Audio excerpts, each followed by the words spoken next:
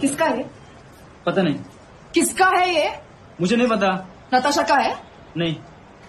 मैं आखिरी बार पूछ रही हूँ नताशा का है? अरे उसका क्यों होगा? क्यों होगा मतलब? उतारा होगा पहले